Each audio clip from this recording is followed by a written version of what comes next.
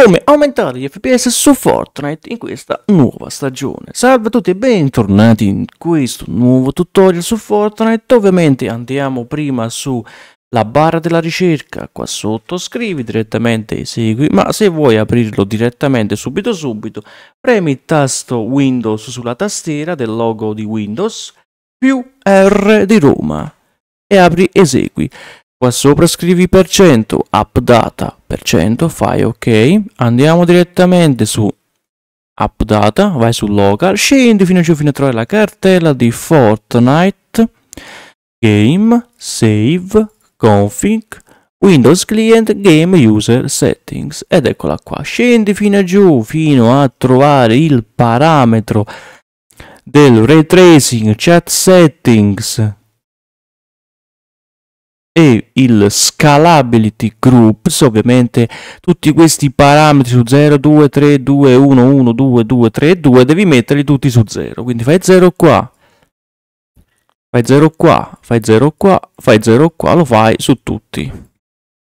0 qua, 0 qua, 0 qua, 0 qua, 0 qua e 0 qua.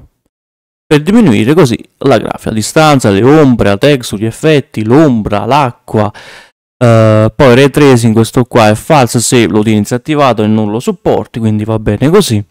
Chat settings um, c'era un hide blocked true windows ok 0.1 file e salvi. Salvi così game user settings una volta fatto, in descrizione ti ho lasciato così il pacchetto che ti permetterà di diminuire così la grafica su Fortnite aumentando anche gli FPS grazie a Nvidia Profile Inspector, un pacchetto RAR che se hai problemi con il link entra nel mio server Discord, te lo mando direttamente io in privato, basta che mi scrivi a me in privato e ti mando il pacchetto di Nvidia Profile Inspector. Ovviamente tu scaricherai così un pacchetto raro, non ho il pacchetto raro, solamente la cartella, quindi il pacchetto raro è come questo, ti faccio un esempio, tasto destro sopra, WinRAR Extract to Nvidia Profile Inspector.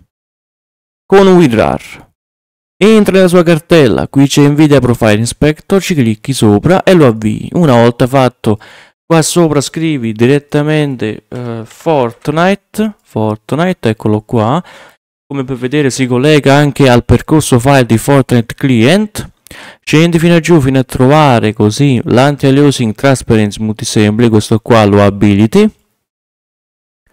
questo qua super sampling metti su 100 WA mode replay, sotto texture filtering più 3.00 metti più 2 8750. Stessa cosa anche con questo. Eccolo qua. Una volta fatto non ti resta che applicare le impostazioni. Una volta applicate non ti resta che entrare su Fortnite e poi modificare così anche le impostazioni sul gioco, quindi riduci la grafica anche là sopra se non ti piacciono queste impostazioni puoi sempre andare su restore del profilo a Nvidia, quindi in questo caso ripristinerà tutte le impostazioni e puoi anche cancellare il programma se non ti serve più. Ovviamente eh, per queste impostazioni salvate su Fortnite il programmino deve rimanere attivo. Quindi chiudiamo un attimo qua visto che adesso non ci serve, andiamo direttamente su Fortnite. Ed eccoci qua su Fortnite. Ovviamente andiamo direttamente nelle nostre stazioni, andiamo direttamente su video, su grafica, poi per vedere motion blue qua da sì metti no. Altri super risoluzione, non è epico, metti no e fai applica.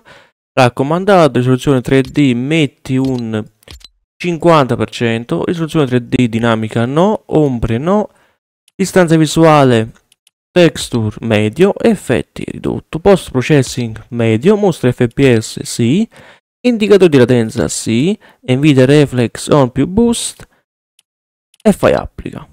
Una volta fatto tutto, ti resta che giocare a Fortnite e vedere come è uscito fuori il gioco con un aumento di fps e con una riduzione in meno di lag. Quindi Grazie a tutti per questa visione e noi ragazzi ci vediamo ad un prossimo tutorial. Ciao!